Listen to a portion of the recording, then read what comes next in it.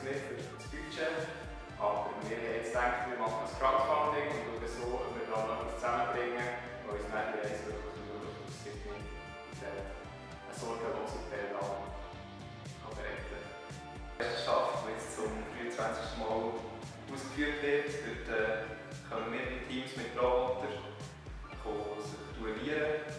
Wir arbeiten jetzt in der Logistik League, was heisst, wir können, die Teile zusammensetzen, um abzugeben sozusagen. Wir lernen zwei Teams gegeneinander. Wir gegen ein anderes Team. Unser Ziel ist dass jedes Team verschiedene Produkte zusammenstellt. Und je komplizierter das Produkt ist, desto mehr Punkte gibt es das Team. ist es so, dass Studenten die Roboter programmieren und dann die Roboter selbstständig fahren.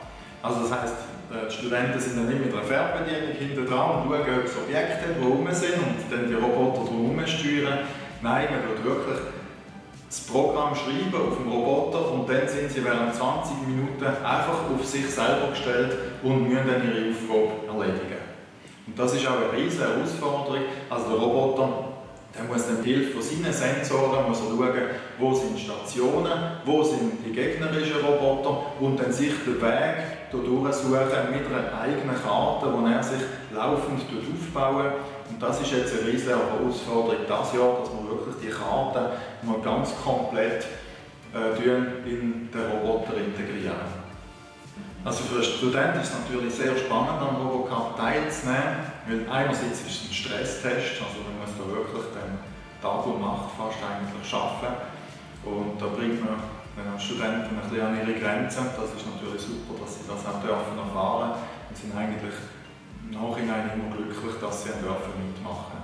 Das Zweite ist natürlich die technische Challenge, wirklich dann auch unter einer Stresssituation die verschiedenen technischen Komponenten zu beherrschen und auch in der Fehlersuche dann zu verstehen, ah ja, in der Theorie haben wir das und das gehabt, wir tun jetzt das in der Praxis umsetzen und darum muss man dann das so können lösen.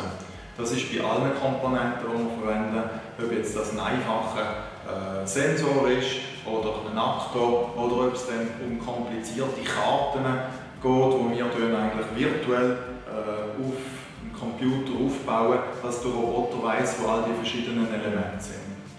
Äh, für die Wirtschaft, respektive für die Industrie, ist es natürlich insofern super, dass sie wirklich Studenten bekommen, die frisch an Presse sind, die einsatzfähig sind, die die neuesten Technologien angeschaut haben, die äh, belastbar sind, also nicht nur fachliche Kompetenzen, sondern Methodenkompetenzen haben, in einem Team haben, können super performen.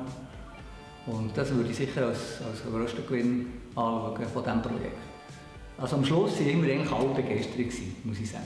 Am Anfang war es ziemlich kritisch, aber Ende, Ende Robocop haben alle gesagt, sie würden wieder mitmachen.